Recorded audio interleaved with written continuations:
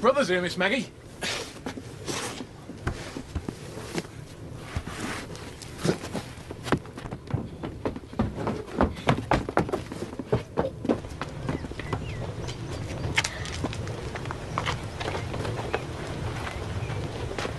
Oh, Tom, mother said I couldn't come to fetch you. Hush, Maggie.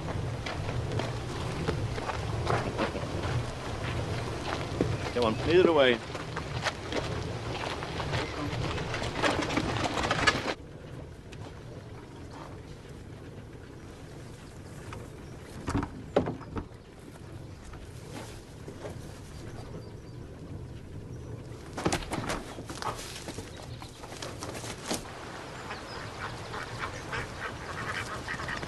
You didn't see to it! My rabbit's dead and it's your fault! I'm sorry. I don't love you, Maggie. Tom! Tom!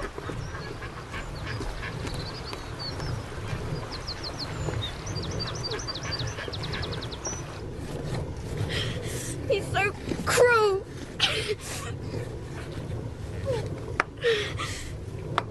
I forgive him if he forgot anything.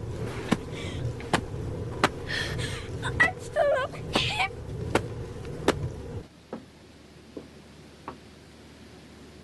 Maggie?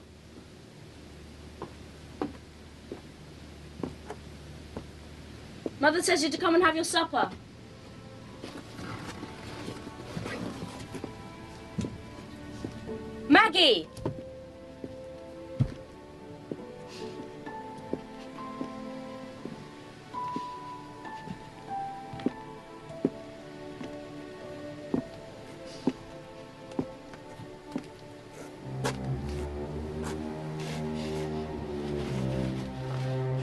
Some plum cake.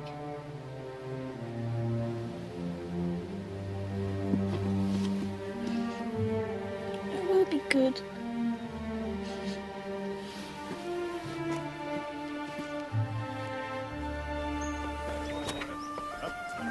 Mr. Wakem, uh,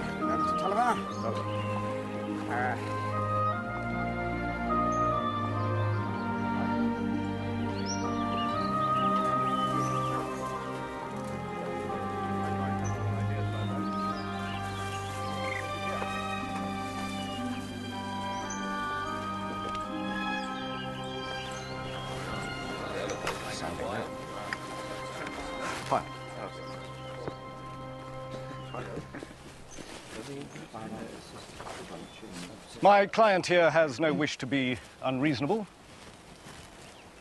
He is a neighbor to Mr. Tulliver. He brings his grain to Dorlcote Mill. But this latest increase to the height of the dam across the River Floss is causing my client grave inconvenience.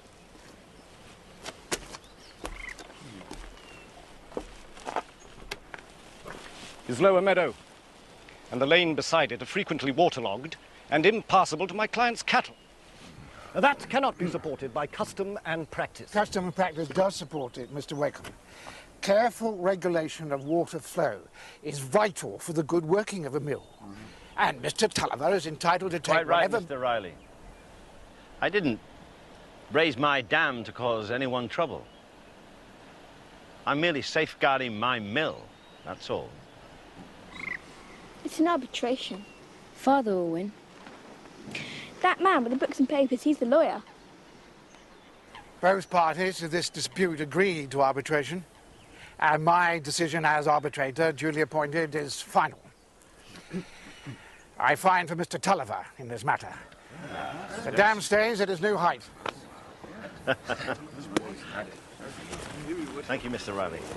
I'm sorry. I did my utmost for you. Charge you the utmost more like.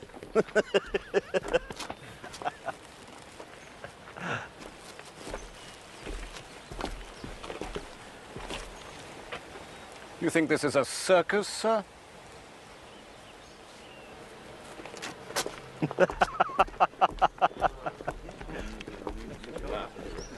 Tom,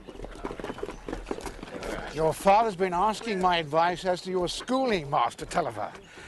My advice is Parson Stelling. come away.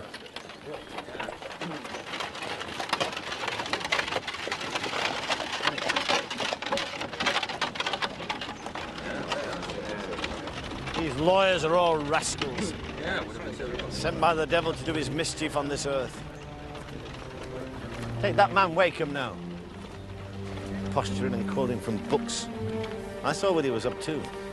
Trying to make me look foolish. But you, Mr. Riley, bless you, you made Wakem look foolish.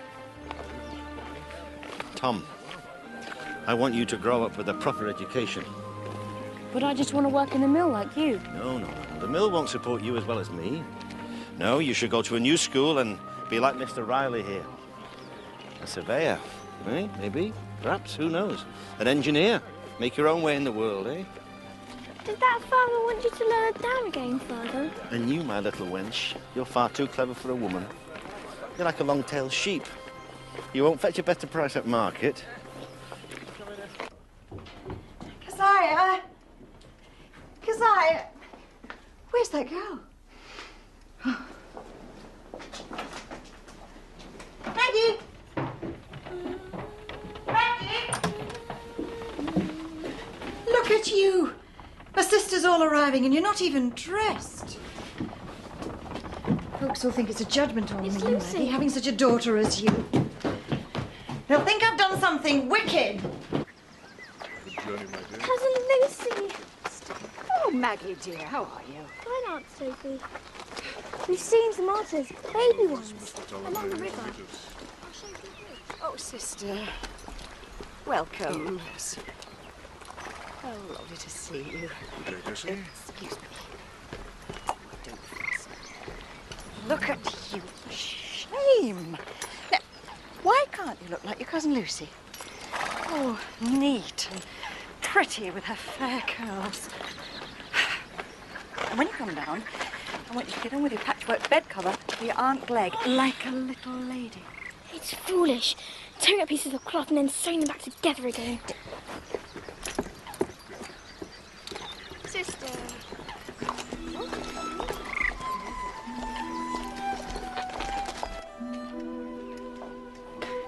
She died but yesterday. Her legs as thick as my body. Oh, Sister Sophie.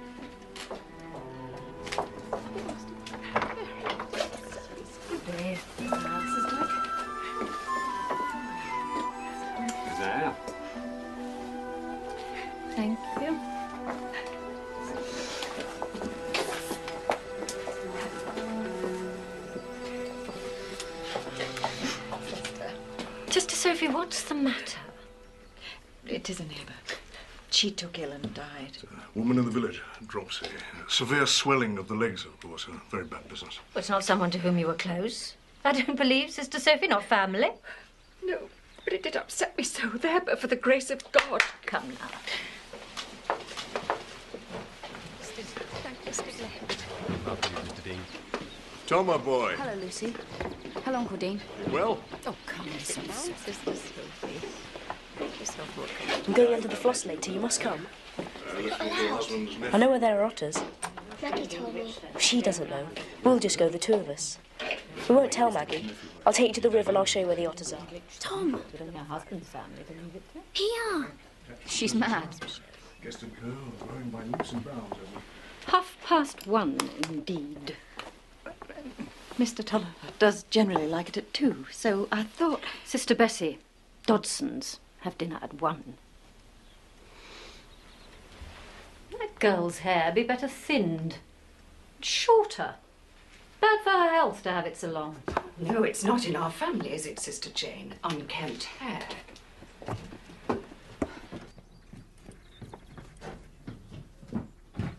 Maggie!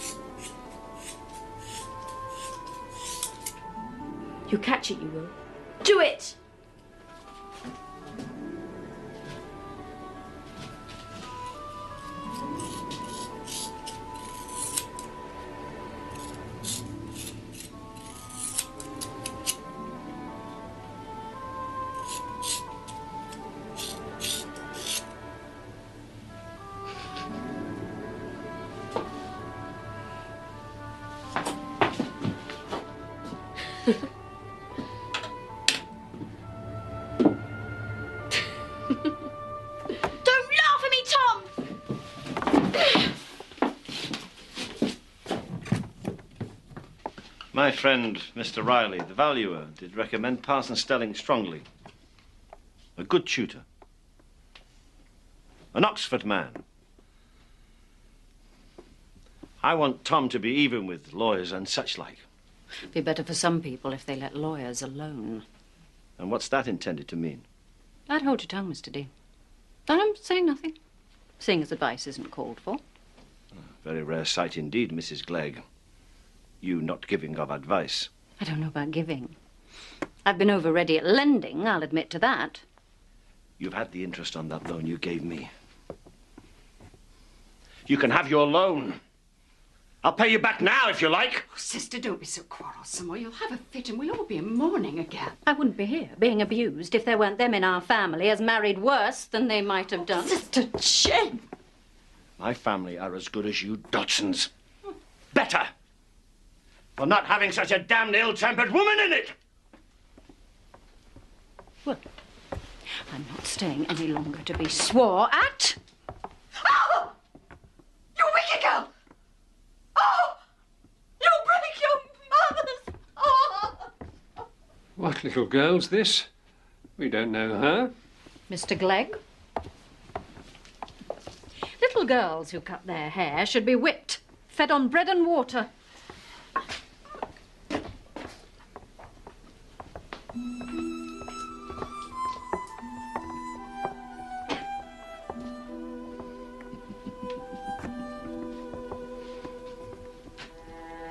You were right to cut it off if it plagued you. Father will take your part.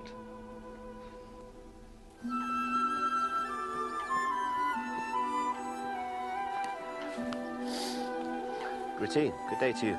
Brother, will you come in?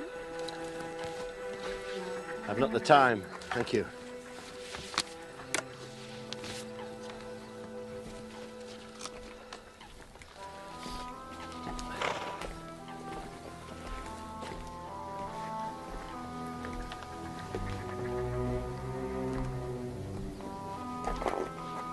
Sister, I've need of the uh, 300 pounds I lent you. Had another bad year, brother. I can't deny that.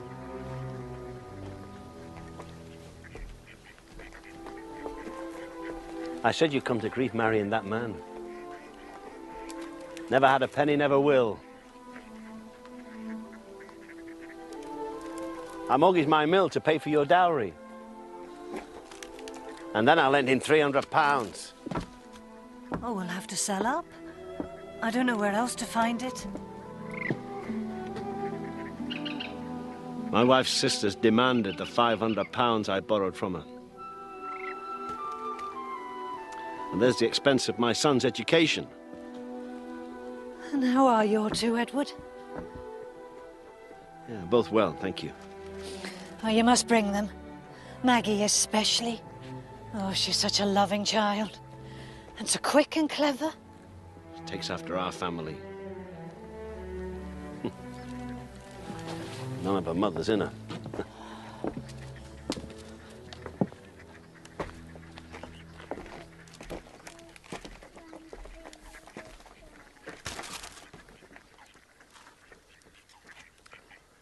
Don't you fret, Gritty. I'll manage without that money for a little while longer.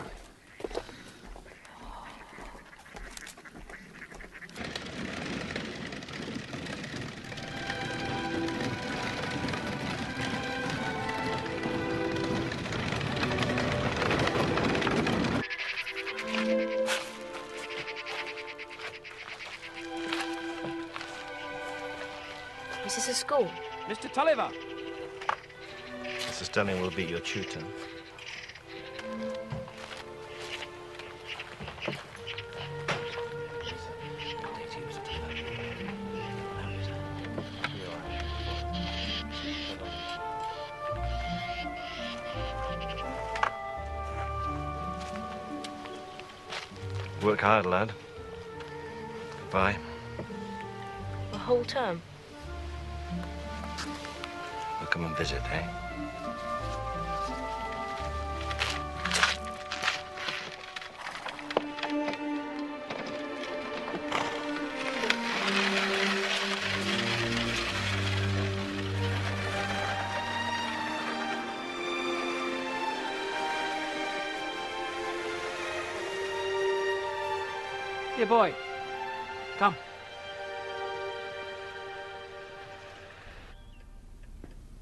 You haven't grasped even the basic principles.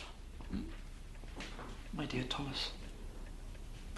Onward, we shall fashion a scholar from you yet. Hypotenuse. Thus, make a square from it equals the square from this side and this side. Do you see?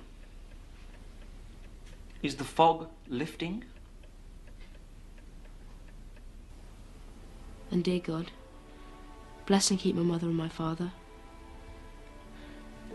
And bless and keep my little sister Maggie. Make her visit soon. And make Mr. Stelling say I needn't do geometry anymore. Amen.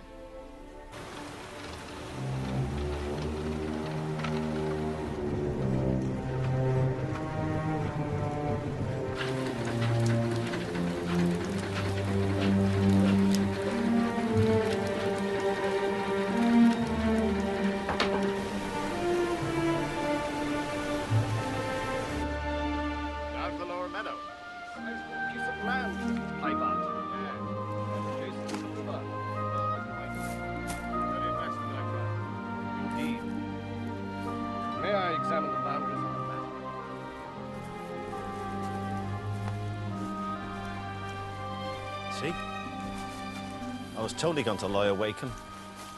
This man Pivart has bought all the fields from the copse of trees there, right over to the lane there, all upriver of us. He's settled on an irrigation scheme that's going to draw water from the floss. We'll have the mill pond dropping a level. He's a rich man, Mr. Tulliver. Rich men do get their way as often as not. I want none of that feeble talk, Luke. Dorlcote Mill was here first.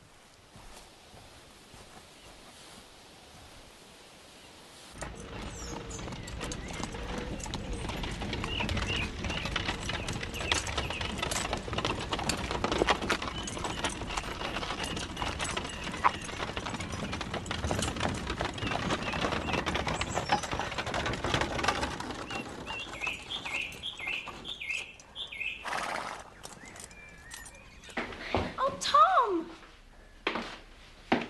Well, you look well, my lad. Your new school obviously suits you. I don't think I am well, Father. Will you ask Mr. Stelling not to make me do geometry? What? What's that? I'll help you, Tom. Mr. Tulliver, good day. Good day. Ask him if I can stay. The wench would like to know if she can stay for a few days. A week, perhaps. My dear, you shall stay two weeks. Mrs. Stelling and I shall have a house full. I have a second pupil starting next week. Mr. Wakem's son, Philip. How do you know?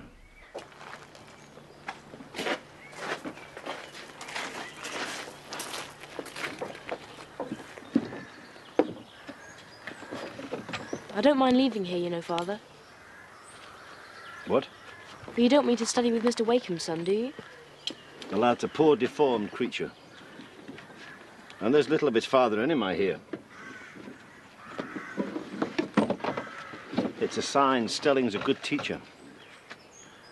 Wakem knows meal from bran.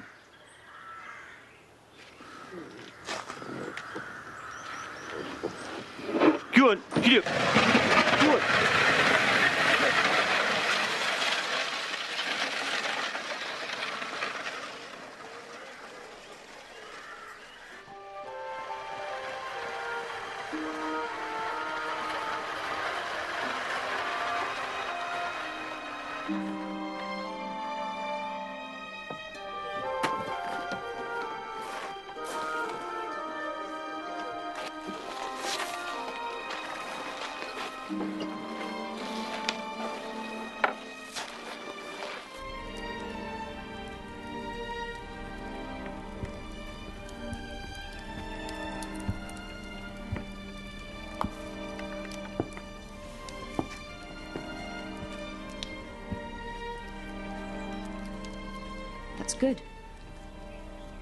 You have to look.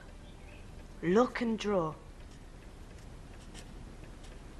Wakem, do you love your father? Yes, of course. Don't you love yours? This is my sister Maggie. She's just visiting. She's not a scholar here. I'm being sent to a girls' school after Christmas.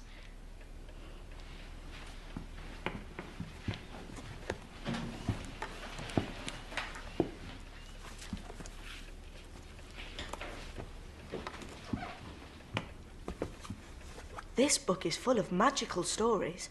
Latin stories? And Greek. I wish Mr. Stelling would let us go fishing. Have you ever been fishing? Fishing's boring. This story is about Ulysses, his travels, and all the hardships he endures. Quick! March! About Anne! About Anne! About Anne! About turn and halt! Relax the shoulders, Master Tulliver. But don't droop. Is that the sword you used in battles, Mr. Poulter? Could I see it? A very dangerous weapon, my lad. An edge is what you could shave with.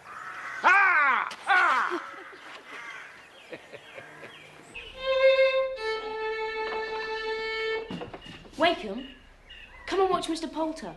I'm not interested in sword drill. But you should try. Go away, you lumbering idiot. You know I won't hit you. Because you're no better than a girl. And I'm an honest man's son. Your father's a rogue, everyone says so. I like Philip. He said he loves his father. He couldn't choose his father. Bad men can have good sons.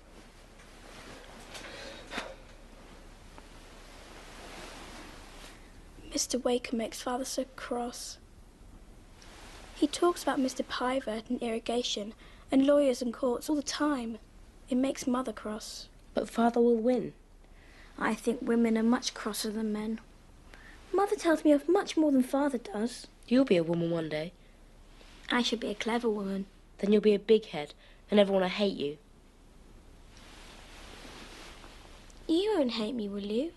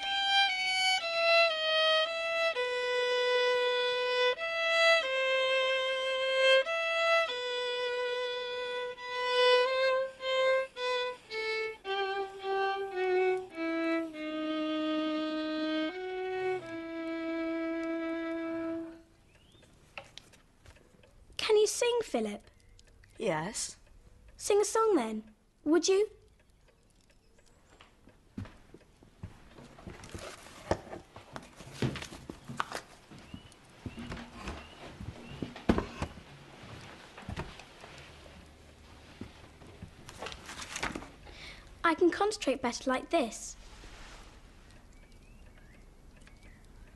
My ship is rigged and ready, and I must be sailing. When shall I return, love? I just do not know. I shall cross oceans, be guided by the star's light. And the best star of all is the light in your window.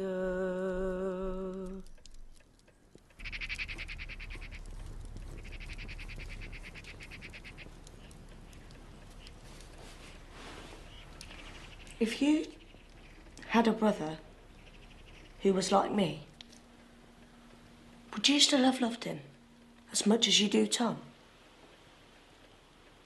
Better. Well, not better. I couldn't love anyone more than I love Tom. But as much. I should be so sorry for you. You're so clever. I wish you were my brother. You'll go away, and you'll forget all about me, I shan't forget you. and I'll never forget you. Whenever I'm very unhappy, I shall think about you. I like your eyes very much. Do you? They seem to be trying to speak kindly. I think you're fonder of me than Tom is. Would you like me to kiss you? The way I do Tom? Yes, very much. Nobody kisses me.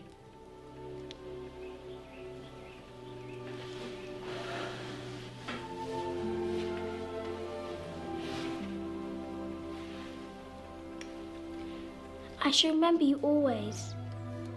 And when we meet again, I shall kiss you again.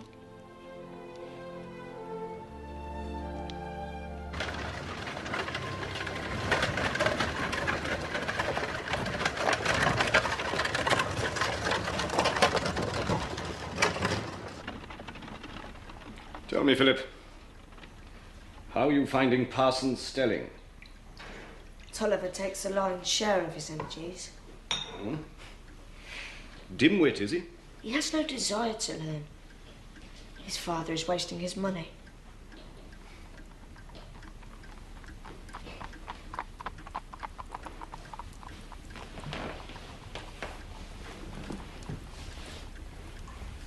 How's the fight? Pivart has to irrigate that land, or it'll be worthless to him. Tulliver thinks his mill is sacred. And he's wrong. Water mills are being replaced by steam. And the sensible owners know they can't always carry the day anymore. Tulliver won't compromise. He's a fool. And in the end, he'll see he's a fool. People say that Wakem means me no harm. Oh, I know that. But he's one of these fine gentlemen that gets money out of doing business with poorer folk. And when he's made beggars of them, he'll give them charity. Bessie? But I know what's right. There. If that means going to court, then so be it. But we've a long way to go. Lucy, dear, I need to take Now, you have as little to do with that son of his as you can, Tom. If he lives long enough to inherit his father's ill-gotten gains, there'll be a curse on him.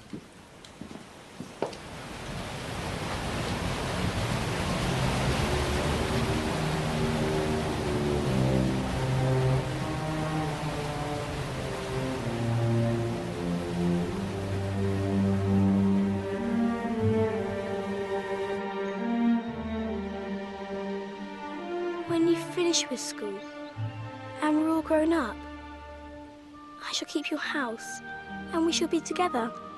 Always.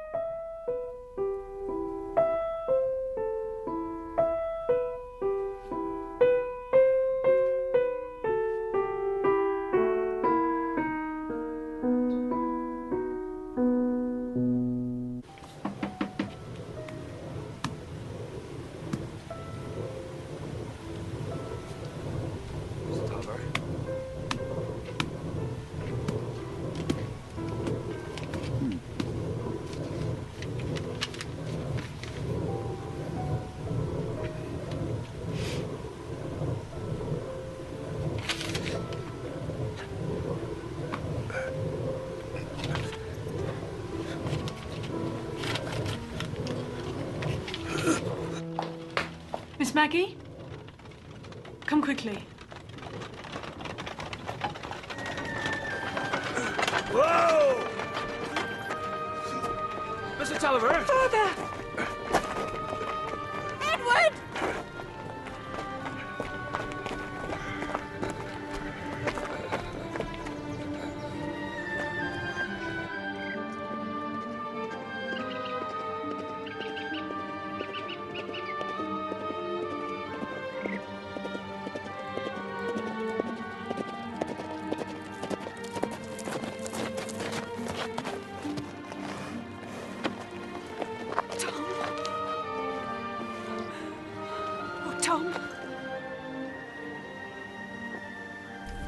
Maiden name woven so prettily.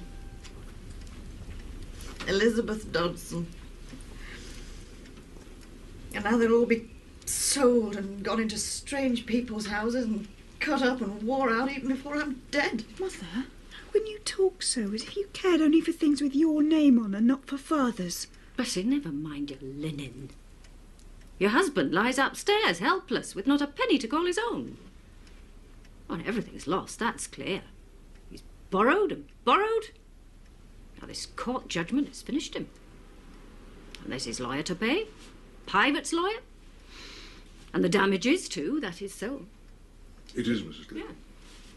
Well, it's right Do you feel what disgrace he's brought on our family and be humble. You always said it would end in grief marrying Mr. Tulliver. He's brought me to this. Don't speak badly of father. Hush, Maggie. Aunt Glegg, since you think it's such a disgrace if everything be sold up, why not prevent it? You could advance the money you and Aunt Deane are planning to leave Maggie and me and pay what's owing. That's all very well and good, Tom, but what about the interest that your aunt's enjoy on the money while it's invested? Have you thought of that? I'd work and pay that. I'd work at anything to save Mother having to part with her things. Good lad. Well spoken. Well spoken, is it? That's my money you seem so ready to dispose of, left to me by my father. I've saved it and added to it year by year. Well, I suppose I could buy some of Bessie's china, though I don't care for the pattern very much. Well, why'd you come here then? Just talking and interfering and scolding if you don't mean to help us. Father's better than any of you. He'd have helped you if you'd been in trouble. Hush, Maggie. Don't hush me. He's lent money to Aunt Gritty and never pressed for it. Oh, my sweet child, I feel torn in two. How dare you all blame him and damn him like this? Tom and I don't want your money. We'll do without you.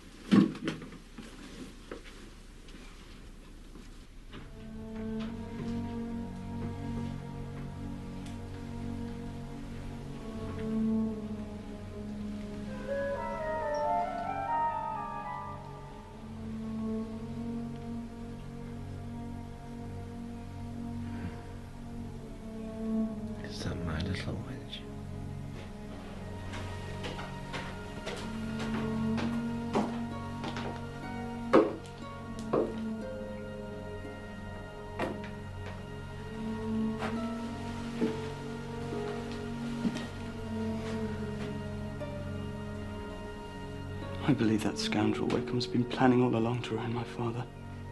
Tom, I'm sure that's not so. Mind you never speak to Philip again.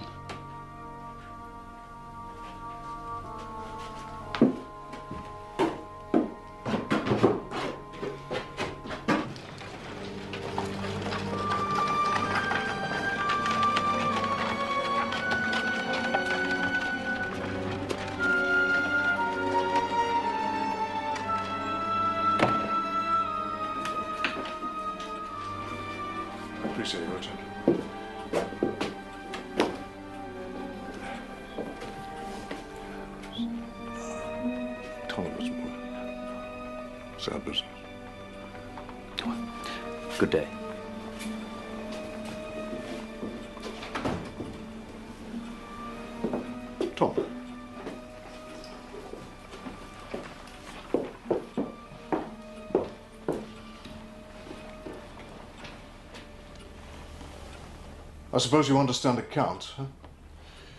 Step up, step up. I write well, Uncle. I have a sample.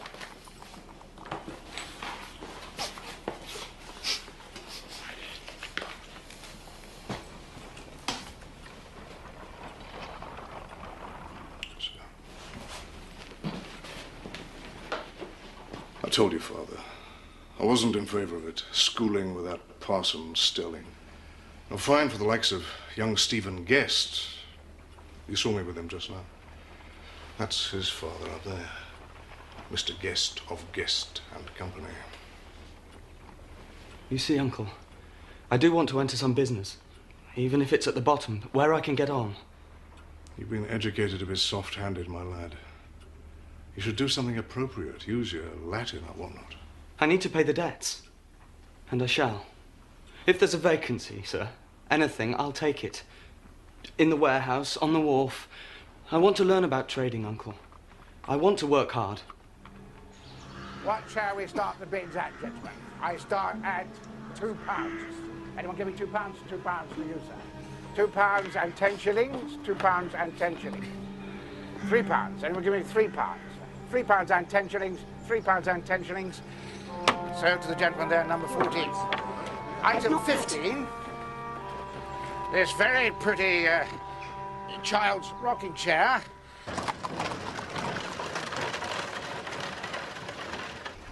I hope, sir, you're not thinking I bear you any ill will because of my husband's lawsuit and the bailiffs being put in and my linen sold. Why have you come to see me, Mrs. Tulliver? If you please, sir. I'm not defending my husband for being so hot about the irrigation. And as for his fieriness and lawing, and now with him struck down as if with death, What does all this mean? what I mean is, what I came to say is, I can't believe but you'll behave like a gentleman and not buy the mill. Who told you I meant to buy it? Mr. Deane. He says as Guest and Company could buy it and let my husband manage it. But that's only if you didn't bid for it and raise the price. But what if I bought it? And let your husband manage it? Oh, he could never be got to do it, sir. Your name's like poison to him. And as he looks at it, you've been the ruin of. He's a pig-headed fool!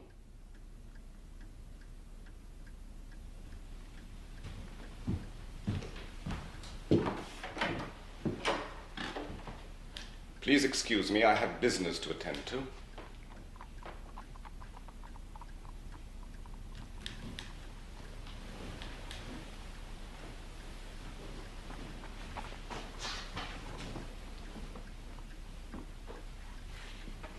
They do say as when Dorlcote Mill changes hands, the river's angry, and it's bad luck. Yes. Yes.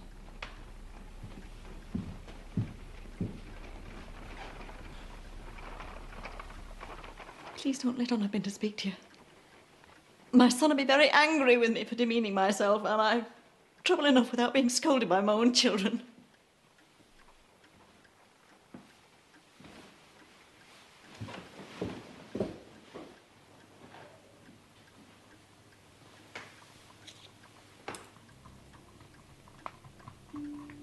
Do I have any more bids for the property known as Dorlcote Mill?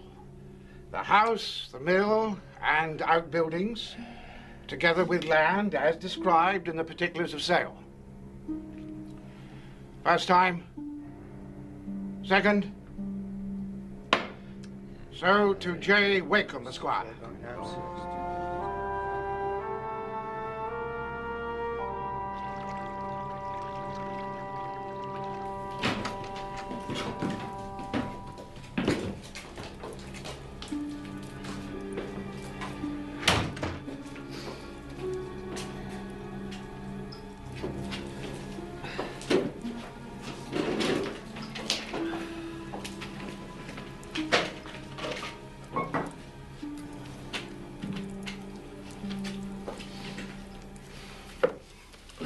Dodson. Twenty years since I was married. Come next Lady Day. Don't bear me any ill will, Bessie. We were promised for better or for worse. I never thought it'd be so worse as this. Mother? No. No, let us speak. Well, I just. What I mean is. Wakem's got everything. So what's the use of turning against him? He says you can stay here and have the managing of the mill and 30 shillings a week and a horse to ride to market.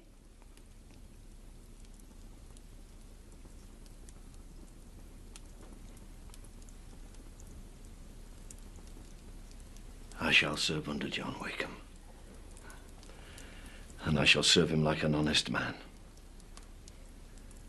But I shall never hold my head up any more. I'm like a tree that's broke. And I'll never forgive him. Tom, write it in the Bible here.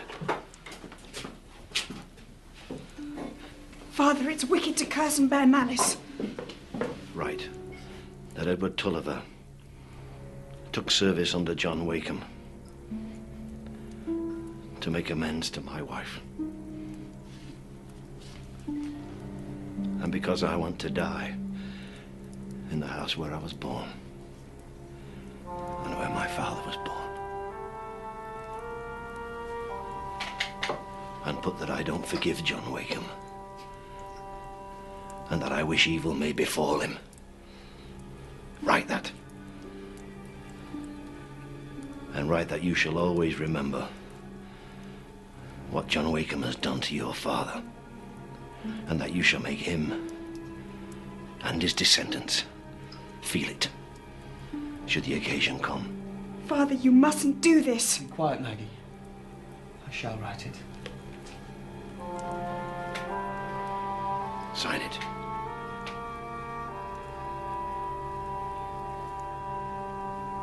My father is so changed, Lucy. He's silent and bitter. He talks about blame, and I hate it. My mother pines for her lost linen and crockery. Sometimes I feel so angry I hate them, Lucy. And then I cry for shame at turning my back on their sadness. And how is Tom? I know my father has been pleased with him since he began work at Guest & Co. Tom has little time for me. He hardly seems to mind any more what I'm thinking or what I'm feeling. He, he just works and works. That's all he needs, Lucy, his task, his steady purpose. Whereas I. Dearest Maggie, I want there to be great things, beautiful things in my life. I. It's a sin, isn't it?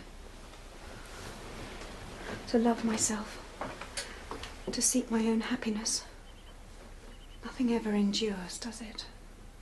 I want to be happy. I see nothing wrong in that. I want to love and be loved. Perhaps to be married, to have my children. These are joys which God has made for us, surely. If we desired nothing, if we yearn for nothing, then we cannot be disappointed.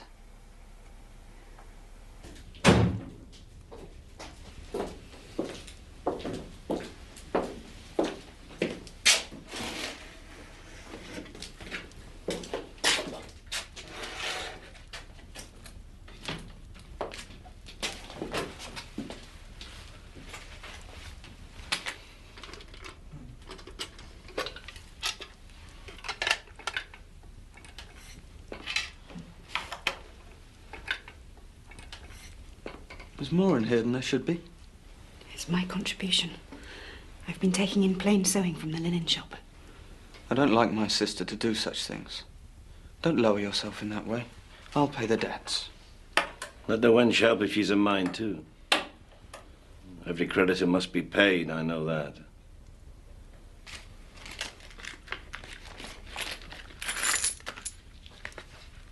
Father, do you think we might venture some of the money?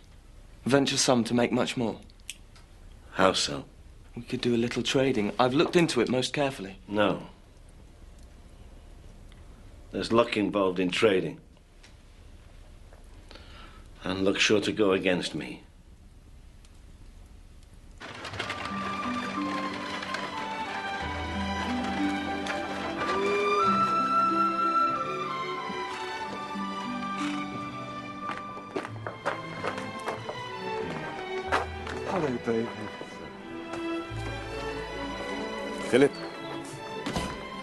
Good to see you home. You stayed in Italy too long.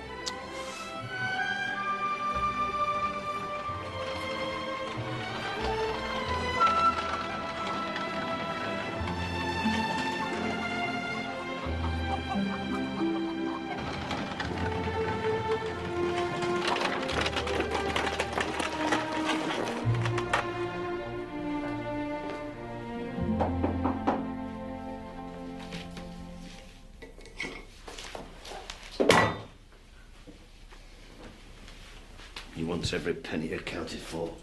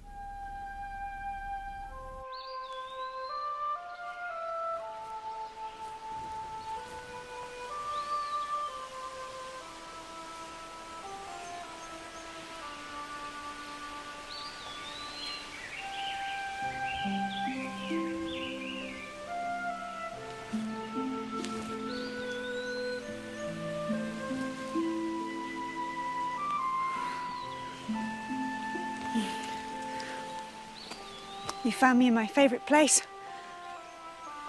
We came here when we were children. We called it the Red Deeps. You don't mind that I followed you here? No. I, I wanted to talk to you, but, well, not at home. Not with our fathers there.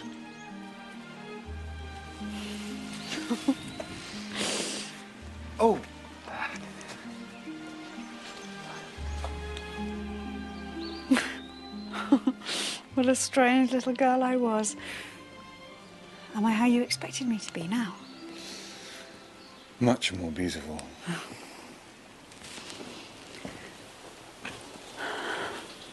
Everything's changed. That's what I wanted to say to you, that I cannot meet with you.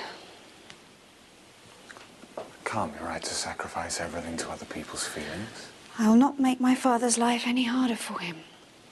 I would give up a great deal for my father, but not a friendship or an attachment. Tom has told me never to speak to you again. He doesn't change his mind.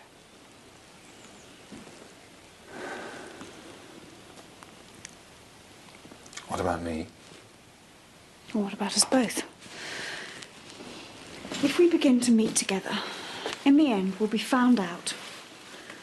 Parting will be more painful.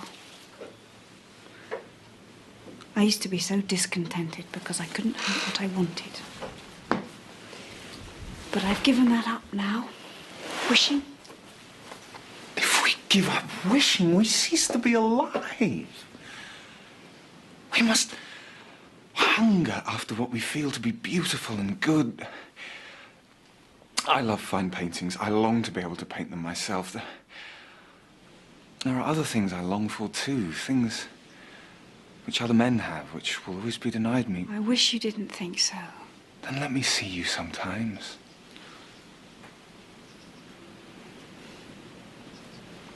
I'll come here as often as I can, at about this time.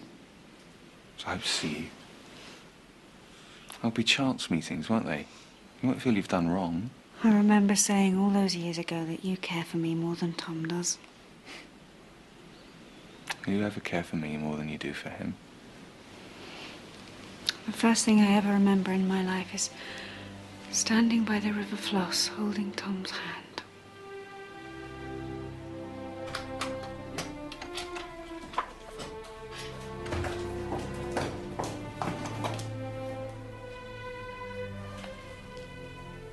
I'm pleased you seem to go out more. Fresh air puts colour in your face.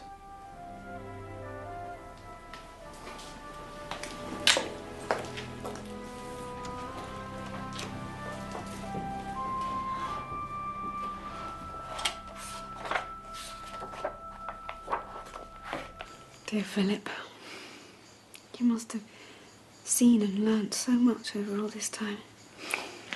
I wasn't sure that you'd still care for me. I knew you'd be the same as when we were children. These things which affect us the most, they do so in ways we can never fully explain. Why should one piece of music affect me so much more than any other? Sing to me. And I shan't look. Oh.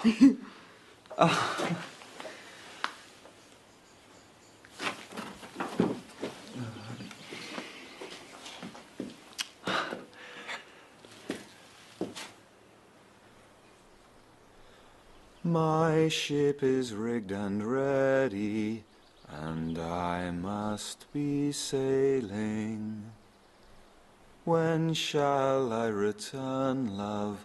I just do not know. I shall cross oceans, be guided by the star's light. But the best star of all is the light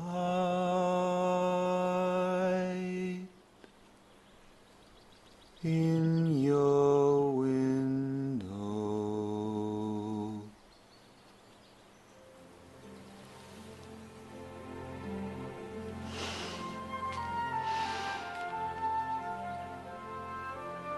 I remember how much you love books, Maggie. I shall bring you heaps of them. I've given up books. Why? Why do you starve your mind in this way? You're stultifying yourself. You'll be thrown back into the world one day, and these simple satisfactions you deny yourself will assault you as if they were savage appetites. Don't deny yourself these things. Be that brilliant woman you are always destined to be. Full of fire and, wit and imagination.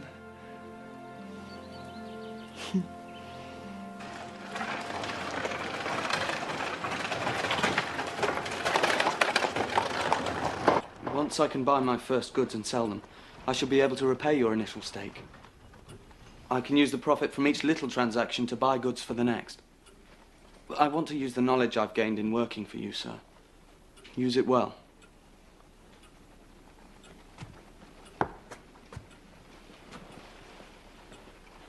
We must repay all the debts.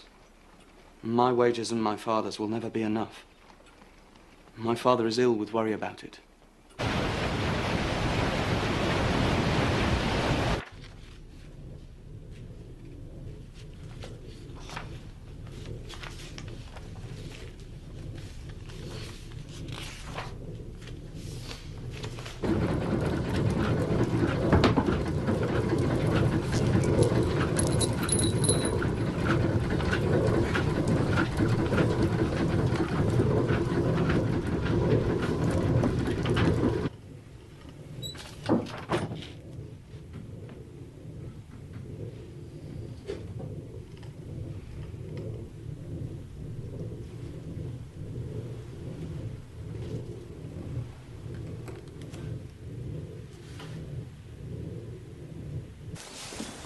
I've often thought that you might love a man other women were not likely to love. That would depend what they didn't like him for. Hmm. Suppose it was a man, not conceited at all, who had been marked out from childhood for a particular kind of suffering, who loved you, to whom you were the day star of his life. I was a fool, please forget I said that. I've never thought of you as a lover. I mean, it's been just like a story that you dream of, that anyone should want to marry me. Do you love me? Surely it's best we don't speak of it, Philip. We can't even be friends except in secret.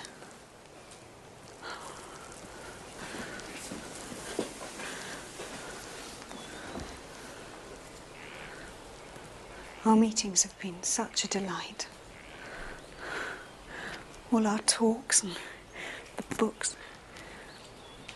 But they've made me restless again, and I grow weary of my home again, and that cuts me to the heart. Don't think about the past. Think about the future. Of our love. Every obstacle can be overcome in time. We need only wait. I can live on hope.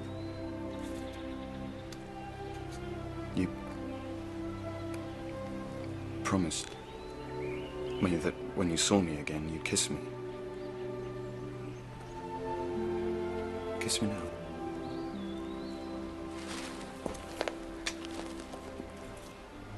I don't want pity. I don't think I could love anyone better than I love you. As brother and sister. Oh, Philip.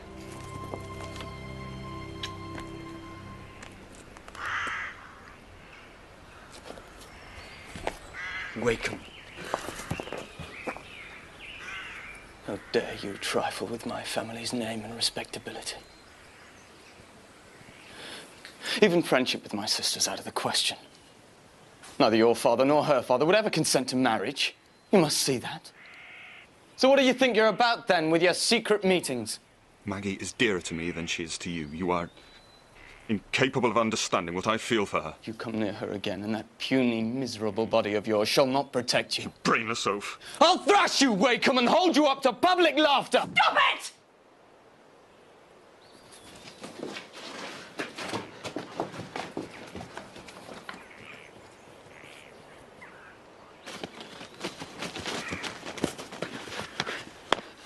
I despise you for sneering at his deformity. You've been finding fault with people all your life. You haven't got a mind large enough to see that anything can be better than your conduct and your petty aims. I know I've done wrong, but it's because I have feelings which you have never had, and you never will have! You're so full of love and tenderness, and how do you show it? By disobeying and deceiving us. Oh, you enjoyed punishing me. You have no pity. No sense of your own sins. All you ever do is thank God for your own virtues. I have a different way of showing my affections. Oh, you're at the helm, aren't you? With your clever trading. Lucy's told me how impressed her father is, how grateful father will be for your achievements. But that is because you are a man and you have power in the world. If you can do nothing, then submit to those who can. I will submit to what I believe to be right and don't suppose I will give up Philip just in obedience to you. Either you'll swear on the Bible never to see him again, or I'll tell father. You must choose. Choose!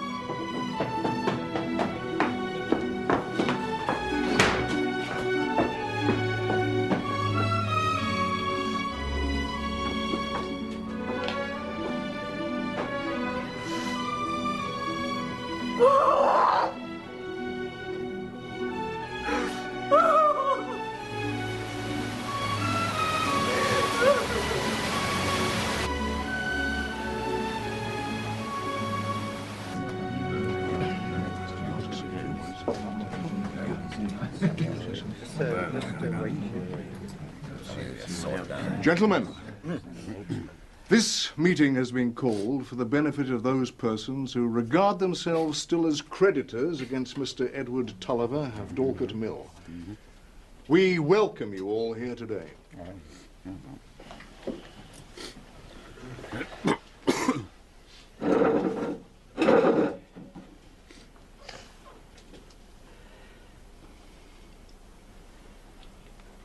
It's a sad fact in this puzzling world that there are rascals in it. Mm-hmm. I name no one today, but there are those that seem able to take hold of a man's luck and break it into pieces. But I can tell you today that I have a son, Tom here, who has taken hold of my luck and fair glued it back together again.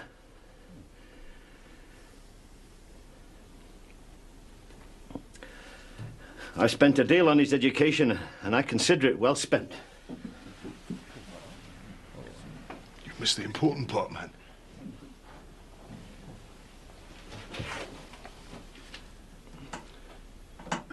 I, I would just like to say that. He's made three hundred pounds. What?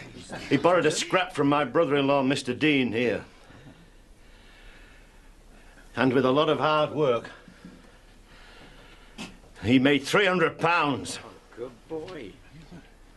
And you'll all be paid. Tulliver!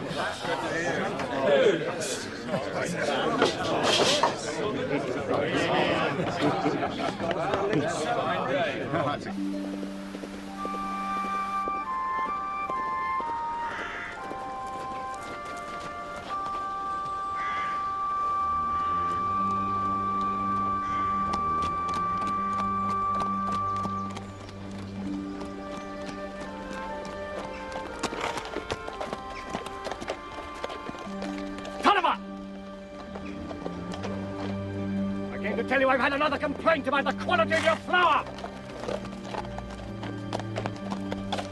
Then you can get somebody else to work in your mill for you. You've been drinking, sir? Huh? At your little meeting? I don't need drink to see that I should no longer work for a scoundrel like you. Then don't! You can leave the mill tomorrow, sir. Now let me pass, damn you! You hear me first?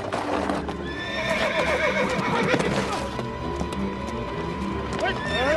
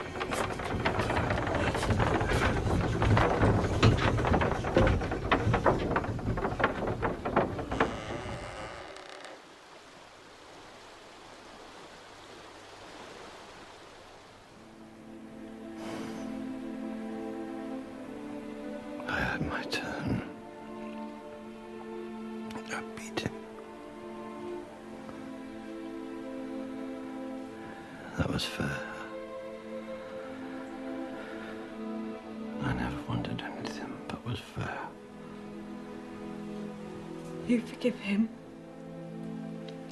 You forgive everyone now. No, my little witch. I don't forgive him.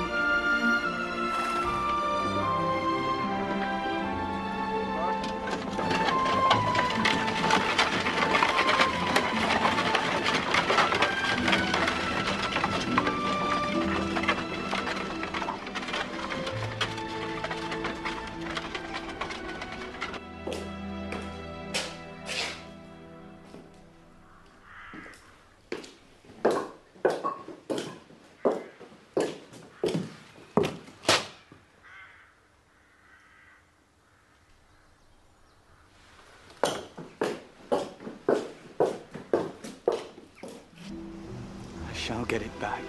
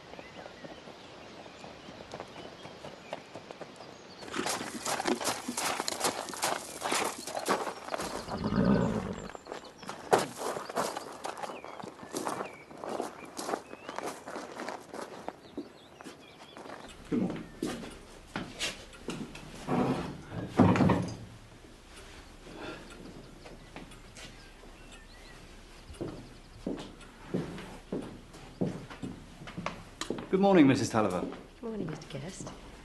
I must say, you keep Mr. Deane's house very well. Thank you, sir.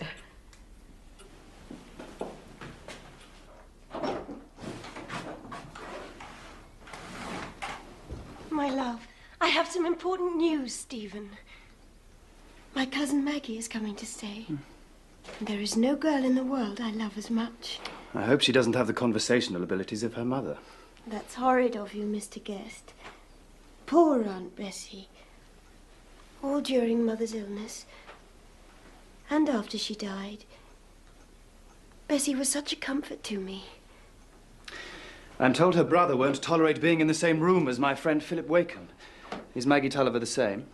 She's had a very dreary time since her father died and they had to leave the mill. Oh, you had better warn Philip.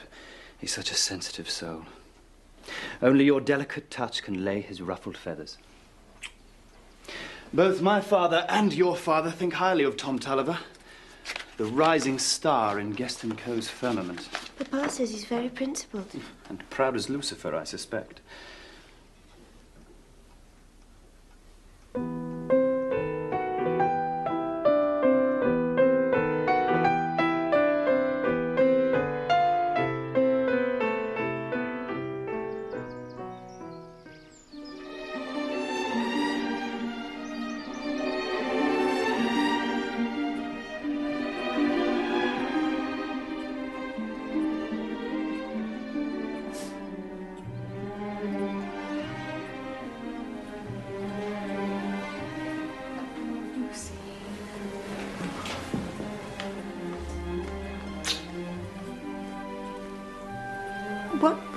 Is in you that makes you look so fine in shabby clothes? I would vanish. You enjoy other people's happiness so much. I wish I was like you. You've had such a dull and weary life till now. And it's going to change. I shall see to it. You shall have new clothes and good music and delicious do nothing days.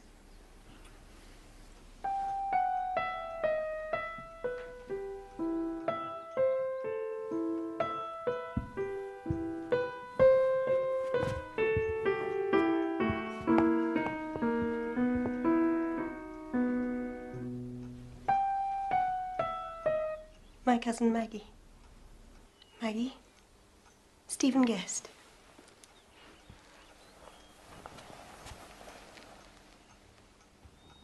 I think Mr. Guest imagined you differently.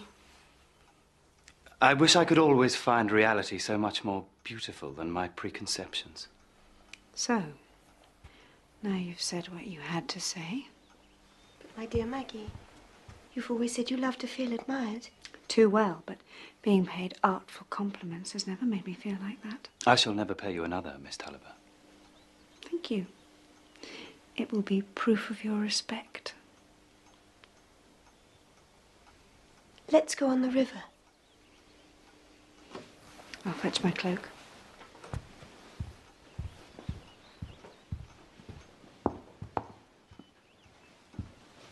You will like Maggie, won't you?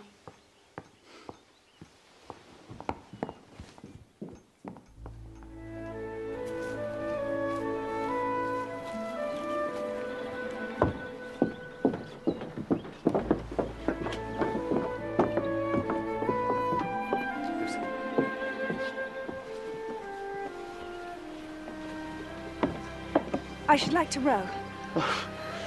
I'll need to be taught. Lucy, you must sit in the stern and help our trim.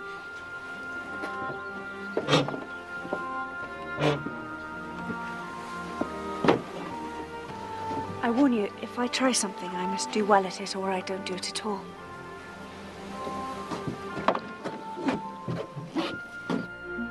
Tell me what you think of Stephen. Good and bad, too. I think you should humiliate him a little. A lover should not be so at ease. Nonsense.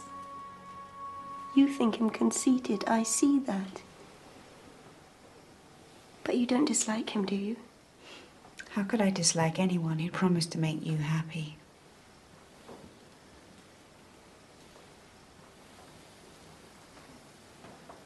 Philip Wakem will be home again from his travels soon. We shall have good times together, the four of us. We shall sing and play music. Oh, I can't. I promised Tom I wouldn't speak to Philip without his consent. Tom cannot be such a tyrant. I have such a dread of opening the subject with him and getting into a quarrel again. It's beautiful you love Philip. I never thought such happiness would befall him. I shall contrive it. I shall make it possible. You shall marry Philip when I marry Stephen. Aunt Maggie. Is Tommy? I want you to absolve me from my promise about Philip Wakem. I wish to see him. Not for myself, I wouldn't ask that. But for Lucy's sake, she knows him and she'd like him to come to her house.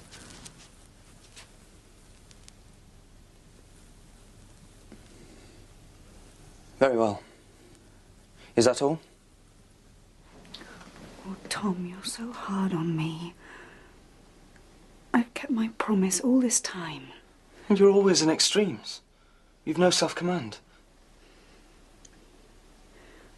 I see that even the idea of marriage would be wrong. I've, I've given up thinking of him as a lover. I see.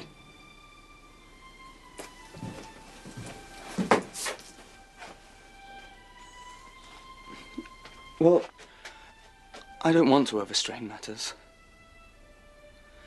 I wish to be as good a brother to you as you will let me.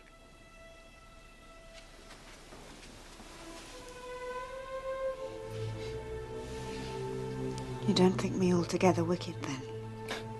No.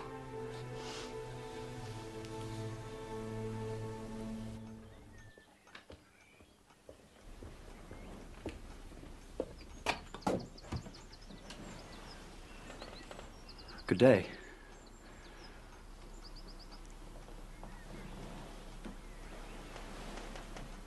I, I, I was passing by. Lucy's out.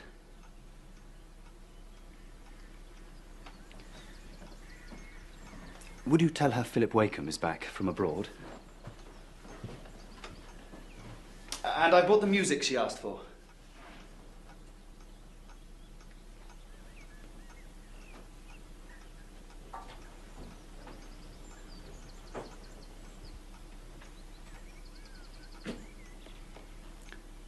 Do you like to sit on your own? If that's not uncivil of me. With your plain sewing? A habit. Life has been hard for you.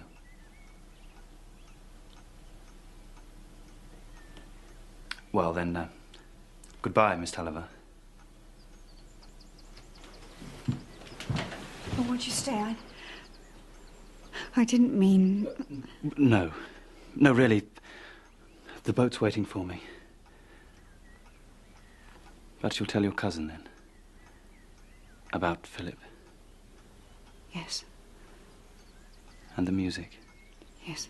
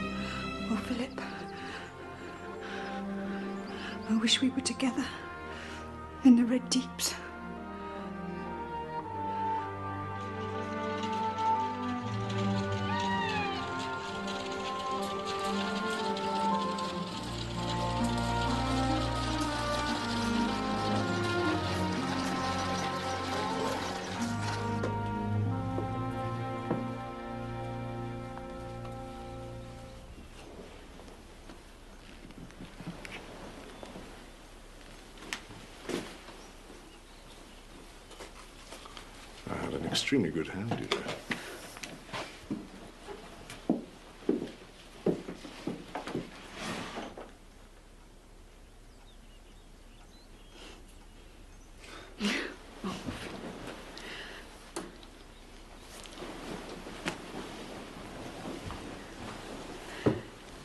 We can see each other Spend time together.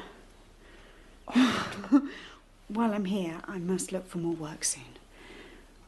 I will not live in a state of dependence. Not on Lucy, nor on my brother, though he'd like me to. Why seek a world away from those who love you? I don't think much happiness can come to me from love. I've always had such pain mingled in it. We cannot escape pain. Pain is part of life, as love is. Philip, you're my conscience. Something happened? you look so well.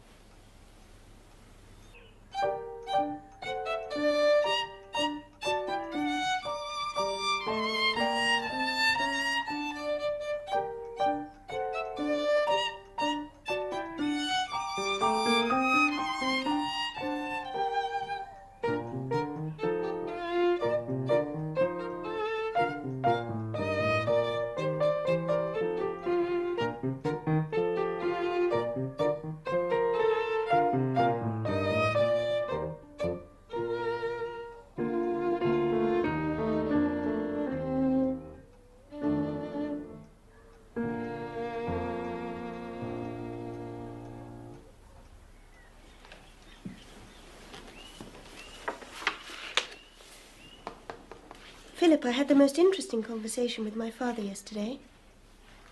He was asking about your father and whether he was losing interest in the mill. You see, Guest Co. might be amenable to buying it. And if they did, you'd persuade your father to hand it back to the Tullivers? He does think so highly of Tom. Really? Would you raise it with your father? It would bring so much joy to Bessie. And to Maggie, of course. If Tom got the mill back because your father wanted to make amends, he might be more about Maggie and you. Is this an unpleasant shock? Well, you're a grown man. You can marry her if you want. I have nothing. Dabbler in art. Ah. You need my money. I need your blessing. I need to know it meets with your acceptance. You ask too much, Philip. This woman's father was the bane of my life, and he nearly murdered me. It had nothing to do with her. She uh, cares for you. I believe so. As for me, she is everything. Very well. I want you to be happy. Thank you. As happy as I once was. I know you hardly remember your mother. It's a great pity I didn't commission someone with your talents to make a portrait of her. Father, there's another matter. The mill. It's that damn mill again. No, let them have the wretched place. There. I'll sell it. But I'll have no direct dealings with young Tulliver. You can swallow him for the sake of his pretty sister if you like. But I've no source which will make him go down.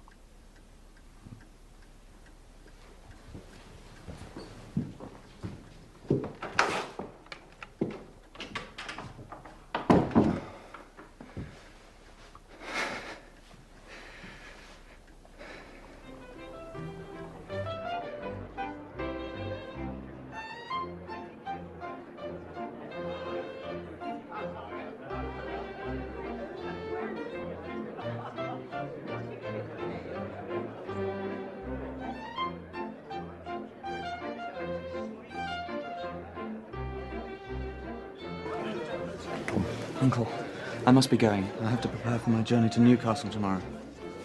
Five minutes more of your valuable time. Mrs. Tulliver. I have something very special for you.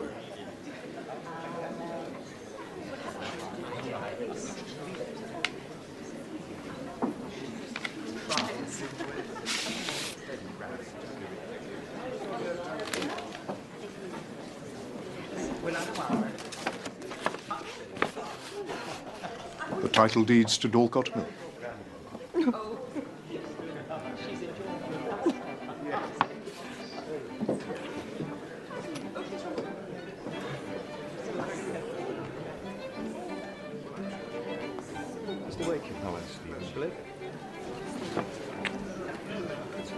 Tom, I did want to say that all this has been possible because Mr. Wakem agreed to sell Dorlcote Mill.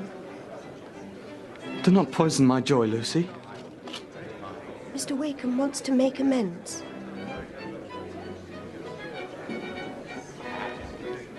You've rehearsed this, I take it. I'm to be softened in this way. You expect to gain my approval to there being more between you and Philip Wakem than...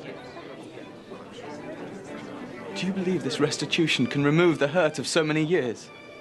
The hurt to father?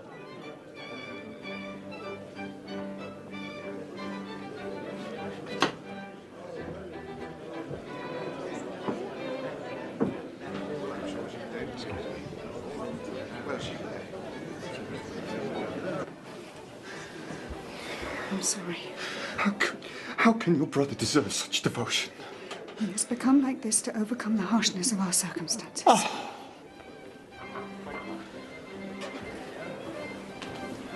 There is a kind, gentle Tom.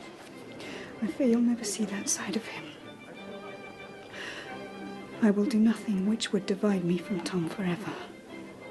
And that's the only reason that keeps us apart. It's the only reason.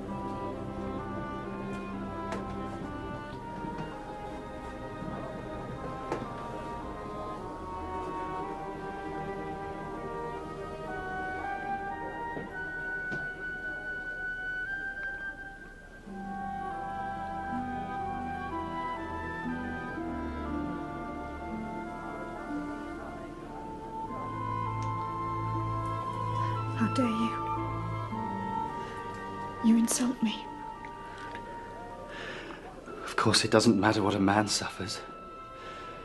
It's only your woman's dignity you care about. I'm mad with love for you, Maggie. Please leave me.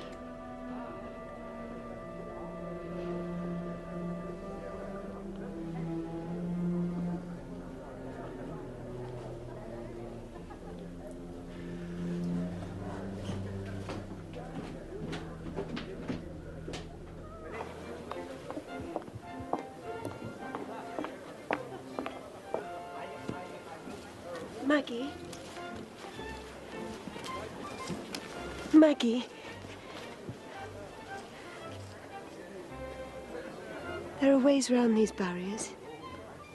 Between you and Philip. Come into the house. Presently. It's cold. And I have a plan. You must come and hear me announce it.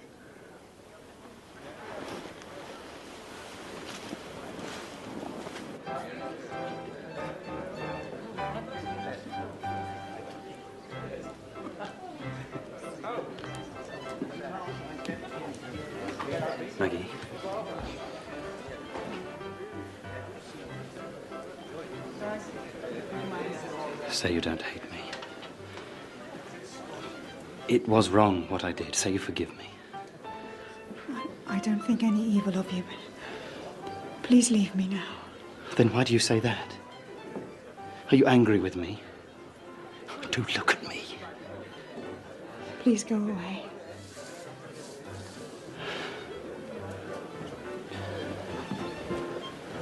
Now, here's my plan. I think we should all four of us have an outing on the river. We've never done that. Maggie does love boating. Tomorrow? I hate a large party in a boat. It cannot be tomorrow. I have to go and visit my Aunt Gritty for a few days. Oh, well, directly you return. Four is not so many. Now, we ladies bid you gentlemen good night.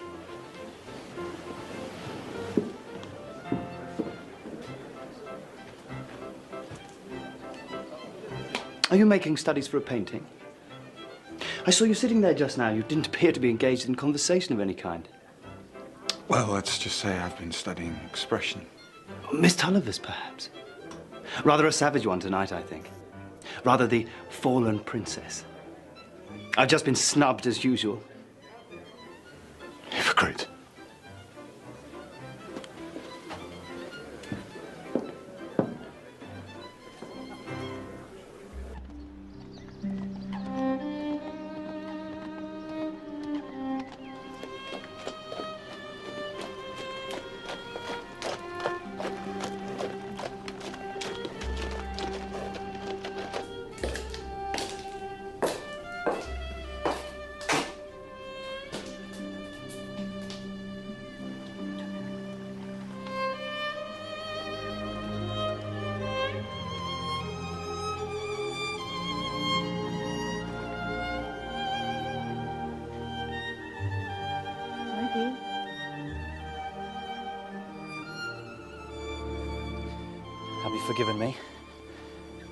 Say you have. Yes, but you shouldn't have come here. I've fought it. I've fought it and tried to be true to other claims. Maggie, I love you with my whole soul. You mustn't say these things. I mustn't hear them. It's no use. But it is of use. Stephen, there's no end to this misery. Think of Lucy. I do think of her. And I have other ties. You are engaged to Philip Wakem, isn't that so? I don't mean to marry anyone else. Maggie, if you loved me as I love you, we should throw everything else to the winds for the sake of belonging to one another. I'd rather die than fall into that temptation.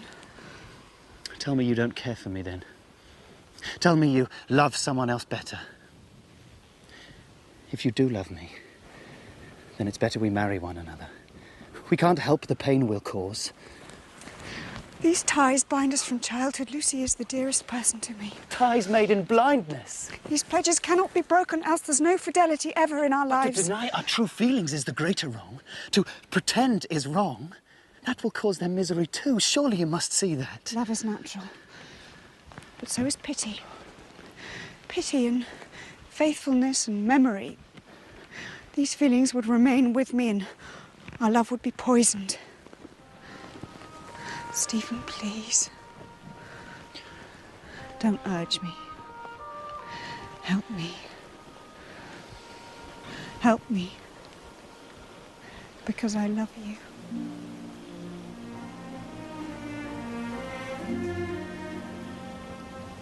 One kiss. Before we part, one kiss.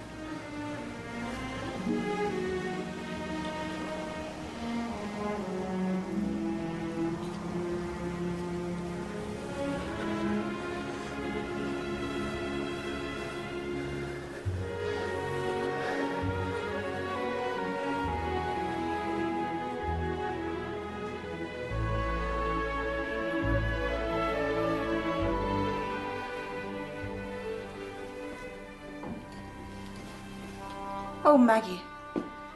Lucy asked me to say she's very sorry about the boat trip, but she had to go into town with Mr. Deane. It was something rather urgent, apparently. They set off bright and early.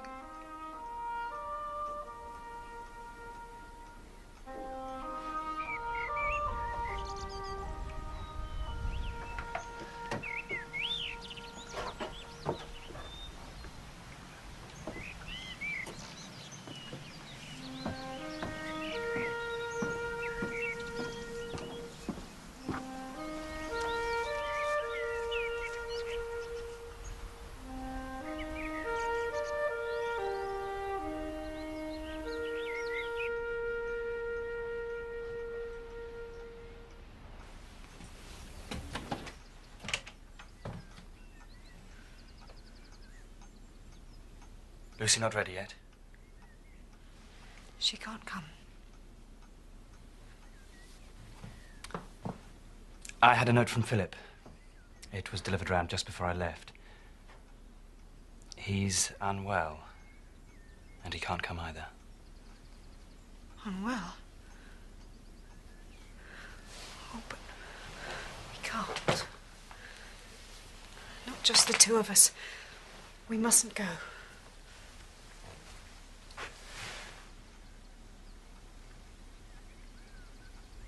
Then we'll stay here. We can't stay here. Then we'll go.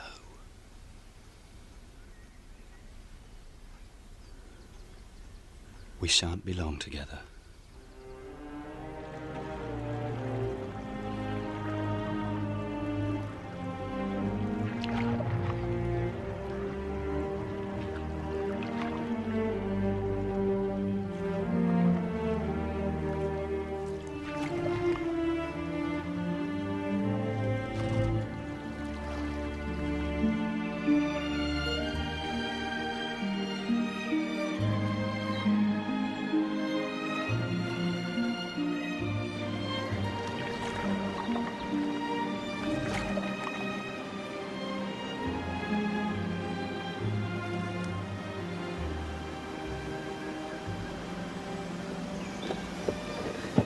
Too far. We have planned nothing. This has happened through the actions of others. Lucy, You can't endure other people's anger, their the condemnation. Tom will condemn you if you marry Philip. Philip will condemn you if you marry me. So will Lucy. we must go back. Turn the boat. Is that what you want? Is it?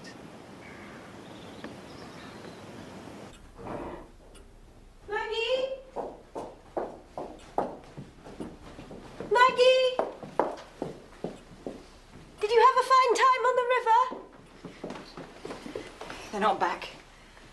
Listen. What? What's happened? Not an accident. They've been seen. A lad on the wharf side did see them. Philip? Mr. Wakem couldn't go either. Just Mr. Guest and Maggie. They were seen boarding one of the large boats.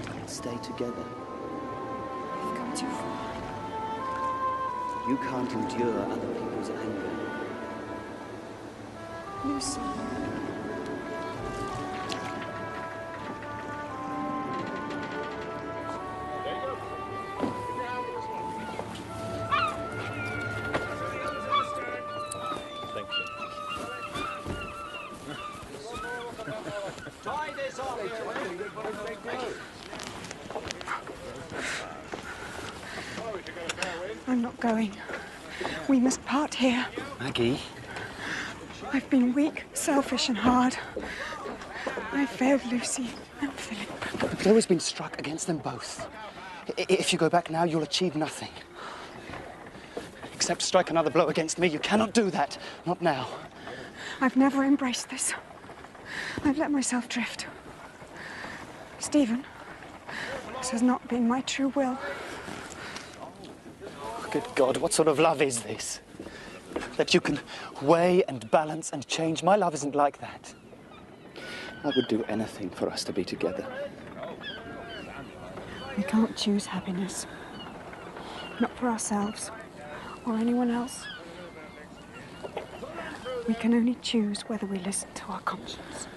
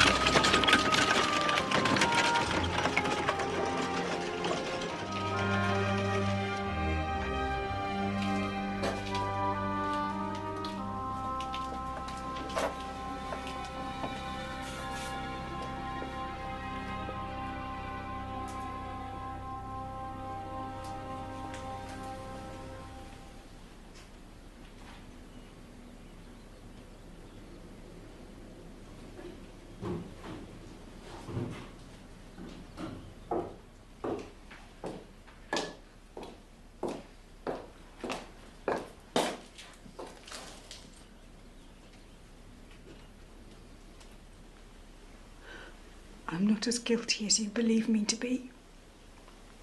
I never meant to give way to my feelings. I've had to struggle with my feelings too. I conquered them. And I submitted to all these years of toil because I believed it was my duty to do that. And now you've disgraced us. Disgraced our father's name. Repented bitterly. I want to make amends. There can be no amends. You used Philip Wakem as a screen to deceive Lucy. I'm here. I've come home. There is no home for you here. Your behavior, your deception, disgusts me. The very sight of you is hateful.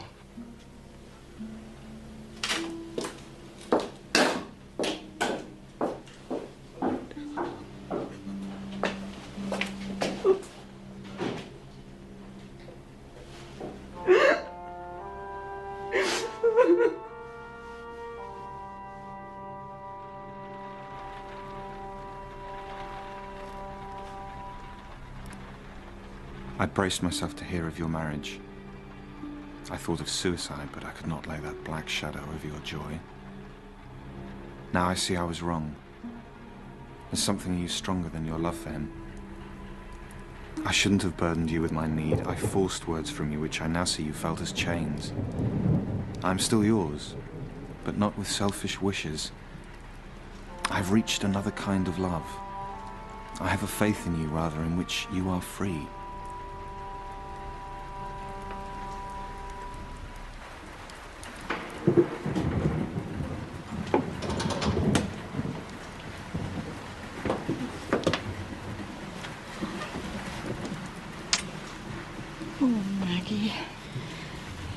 Hurts me to see you away from the mill, away from your home. I shan't be here long.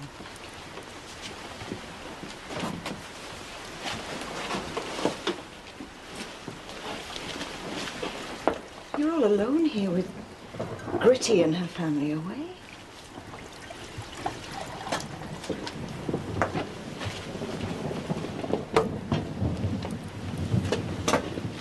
Where's your cake?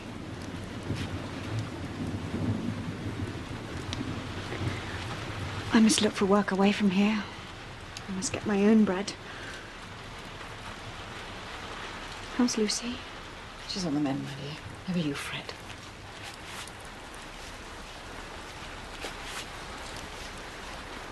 I would so like to see her. I've written her a letter. Would you take it to her?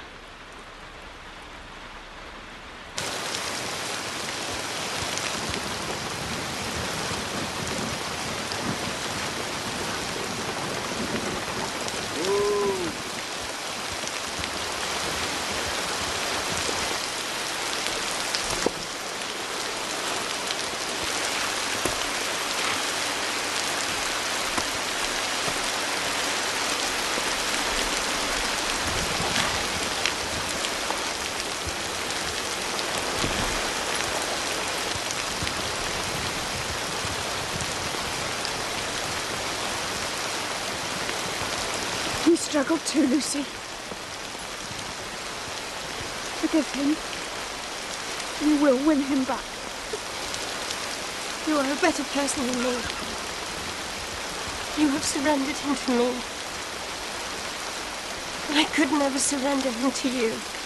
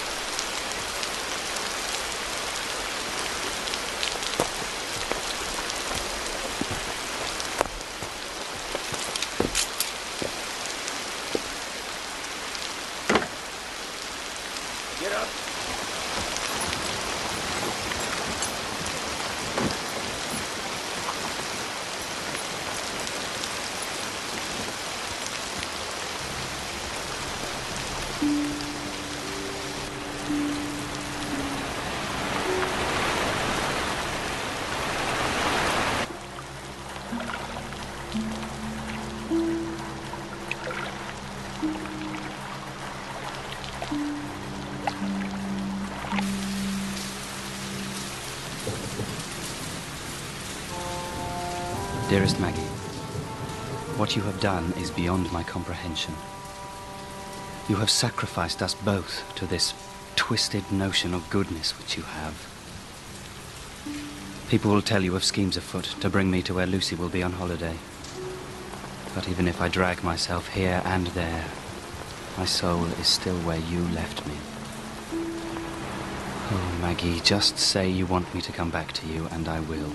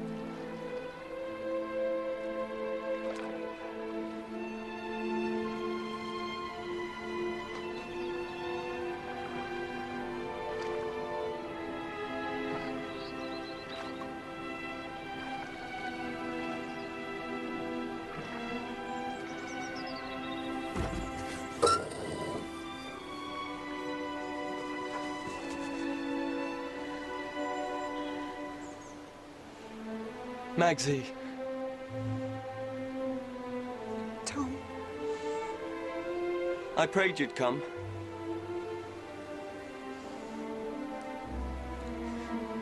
Is Mother safe? She's visiting Lucy.